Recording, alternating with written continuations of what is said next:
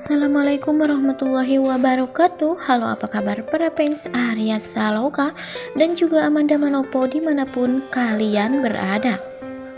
Semoga kalian diberi kesehatan, dipanjangkan umur serta dimudahkan rezekinya. Amin amin ya robbal alamin Oke guys, kembali lagi dengan channel Mimin. Channel kesayangan kita semua ya Yang di mana kali ini Mimin akan memberikan kabar terbaru Terupdate, terhit, dan terfavorit. Tentunya hubungan si cantik Amanda Manopo Dan si ganteng Arya Saloka Serta sinetron Ikatan Cinta ya Oke guys, yang di mana di sini Mimin kedatangan kabar terbaru keromantisan Arya Saloka dan juga Amanda Manopo. Sungguh-sungguh luar biasa ya guys. Sehingga di sini Arya Saloka dan juga Amanda Manopo sudah tidak menghiraukan sindiran-sindiran Putri Ane lagi. Dan di sini keromantisan Arya Saloka semakin heboh ya guys, karena Putri Ani yang selalu memanas membuat Arya Saloka dan juga Amanda Manopo sudah tak menghiraukannya lagi. Nah lalu seperti apa nih kelanjutan ceritanya?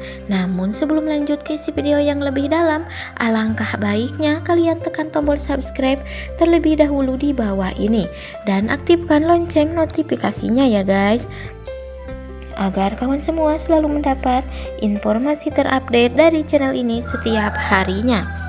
Dan jangan lupa ya guys tonton videonya sampai selesai agar tidak ada kesalahpahaman di antara kita nantinya.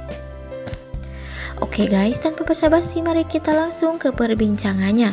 Nah, Maria Saloka dan juga Amanda Manopo yang berperan sebagai Al dan Andin di sinetron Ikatan Cinta, kini nama keduanya pun hangat diperbincangkan publik ya guys.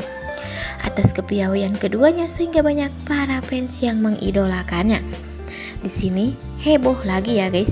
Putri Ani selalu menyindir atau memberikan peringatan keras kepada Arya Saloka dan juga Amanda Manopo.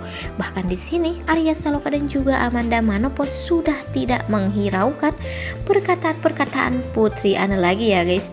Aduh duh bikin heboh emak-emak sejagat raya aja ya guys menghadapi Putri Ani yang saat ini selalu membuat ulah ya guys keromantisan Arya Saloka dan juga Amanda Manopo membuat Putri Ani selalu cemburu ya guys.